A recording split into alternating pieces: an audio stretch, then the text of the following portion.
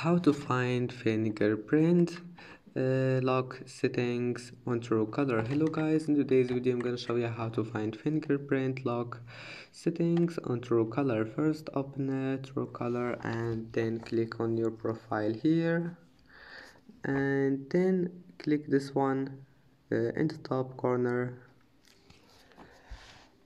And then just click uh, messaging here is it and then click uh, passcode lock this one. And here we'll find that fingerprint lock. And that's it. If you want to enable it click on it and you can disable it again by one click. And that's it. I hope that can help you.